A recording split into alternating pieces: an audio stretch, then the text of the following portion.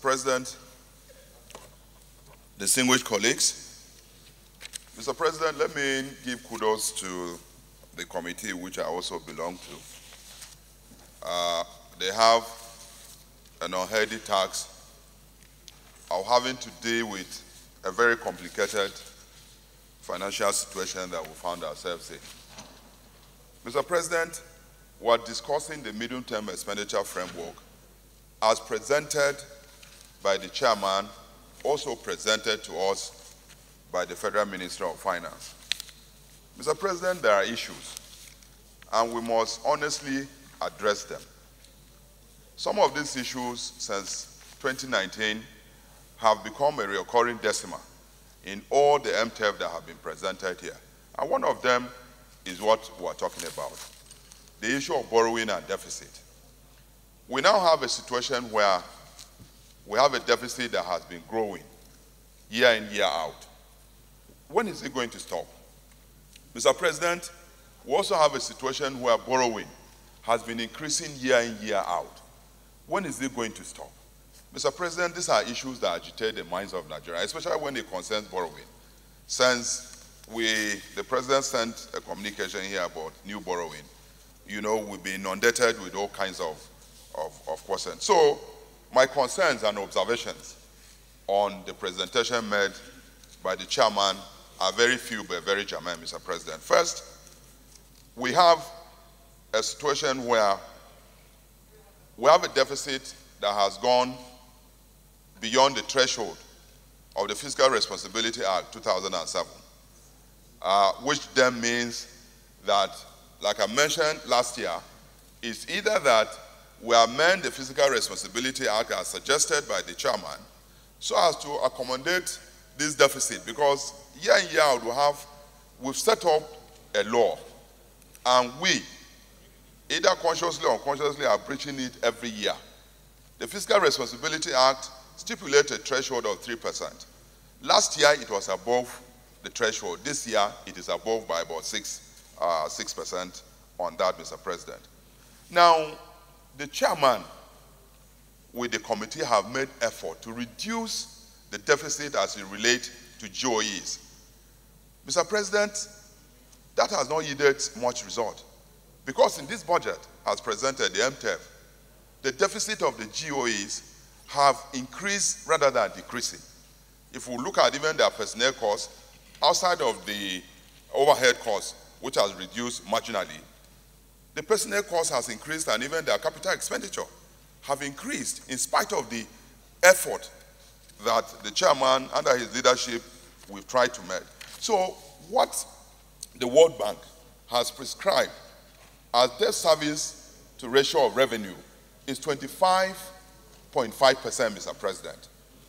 The situation we found ourselves now with this budget is that Nigerian debt service to revenue ratio is 67%. The implication of that is that every 100 naira that we earn in this Nigeria, 60, 67 naira is used for debt service, which means we have only 3 naira available to Nigerians to spend. It is very scary, Mr. President, that you are earning 100 naira, spending 67 naira to service debt. It's not even paying the debt. These are very scary scenarios that we must look at. Now, do we continue to borrow or do we look uh, elsewhere for us to get this money? Mr. President, there are areas that we will get. We had the issue of stamp duties, which were addressed in these chambers sometime last year. Now, it has been moved, called now electronic transfer. Mr. President, we put in 2020 about 500 billion. In this budget, what has come is 29.9 billion. We need an explanation to that, Mr. President. How can you move from 500 billion of stamp duty, we used to call it stamp duties. Federal Inland Revenue themselves in 2020 say that they had a business transaction above 52 tri uh, trillion. If we now multiply that by the stamp duties they collect, Mr. President, there is no way they will present only 29.9 billion. So if we are serious about addressing the issue of borrowing and reducing the deficit, these are areas I think that the Committee on Finance should be mandated to invite this uh, MD of FRA Let us know why he has moved from 500 billion last year to 29 point something billion on stamp duties, which is now for electronic transfer. Mr. President, beyond that, I don't know whether Mr. Uh, the chairman is an oversight. For the first time, MTEF have captured extensively what you call tax expenditure. Mr. President, what tax expenditure, the statement of tax expenditure addresses the issue of waivers, deferrals with this thing. If we look at the waivers and deferrals that have been given, Mr. President, those alone are 2.4 uh, 2.4 trillion. Custom alone is supposed to give tax waivers of 780 billion. Out of that, import duty captured 600 billion. Who are the people who are benefiting from this tax, uh, from these uh, waivers? Which are the companies? And which is the cost benefit? Do we rather give waivers? Would that benefit us more than getting the money? Mr. President, under VAT is about 900 billion under the tax expenditure. These are waivers on food items. Which are the food items? We need to know. Let these people present us with those items one by one. If we say that under VAT, these people importing these items are not going to pay tax, let us know the items and know the beneficiaries. We'll go to CIT, that is company income tax. Which are the companies that are benefiting? What are they manufacturing? What are they doing? These are things that, if we are serious about addressing the deficit and stop extensive borrowing, Mr. President, we must look into this. These are very serious issues that are presented here. Tax expenditure, this is the first time they are presenting it. Uh, the chairman didn't capture it. Uh, maybe, uh, I don't know why he didn't do that. Mr. President, we also, in managing an economy, we, we need to combine fiscal policies with monetary policies. Mr. President, the central bank has fared woefully under monetary policy. If we look at the MPR that have just set up now, MPR, that is the monetary uh, policy rate that goes to commercial banks, it's about 11.5%. Now, you, you loan money to commercial banks at 11.5%. Mr. President, none of us here, when you want to take money, it's about 20 something. The least is 19%. The saving rate is 1%. That means that the, whole, the entire of the middle class has been wiped out because no person can go into mortgage. If you go to borrow, it's prohibitive. If you want to save your money, you only get 1%, which means nothing. That means that the central bank doesn't know what they're doing. So if we leave the monetary policy that have tried to uh, address, every time year in, year out is 11.5%. You go to borrow is 20 something. You go to save your money is 1%. No middle class person will ever go and say, I'm getting a loan to go and build a house. The middle class in this country is gradually uh, going. Mr. President, the fiscal policy as presented by Minister of Finance on issues of tax, if that's serious, you won't be giving these waivers in a budget that your deficit is 4 point something, you are giving waivers of 4, 2.4 trillion. You won't do that. So it is either that we are serious and we call these people to come and make presentation because we need to know, we need to serve Nigerians. We are the people who are inundated when we go to our villages or all kinds of demands. Those people sit in air-conditioned offices. Nobody goes to them for any demand. You go, you step out here, you open your phone, you say, my wife is giving birth, I'm marrying two wives, I'm marrying another one. It becomes a...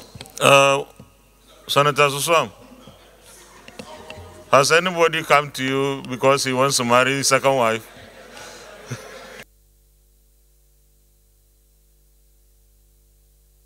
now. And so, Mr. President, let us, let us, I, and this is very, very important. The CBN governor should be invited before the entire House. Let him come and explain to us exactly what the monetary policy of this country is and why it will be impossible for me to go and save and get something more. And then if I want to borrow, I can't borrow. Let him come here so that we'll combine both the monetary policy and fiscal policy and be able to address. You can, you can round up now so that others are able to speak, please. In rounding up, Mr. President, I want to suggest that in addressing the issue of deficit in our budget that Nigeria have joint ventures with a lot of this, especially in the oil sector. And with the passing of the PIB, why can't Nigeria divest a little bit in some of these joint ventures so that we can raise more money in order for us to address this? And then, even in collecting tax on PPT, the less holdings we have in this joint venture, the more of royalties and tax that we can collect from PPT. And so it serves us better now to divest a little bit of our holding in joint cash because the money that you pay for joint venture cash calls, Mr. President, is unsustainable. So let us, my suggestion is that let us divest some of our interest in some of the joint venture. We'll reduce paying joint venture cash calls. We will receive more tax from PPT, petroleum profit tax. We'll receive more tax from royalties. That will enhance our money and then we'll reduce the issue of unsustainable borrowing that we're engaged in now. And then our budget gradually uh, will be able to reduce. At some point, we hope that we will have a balanced budget uh, in this country before the end of this administration. Mr. President, I saw some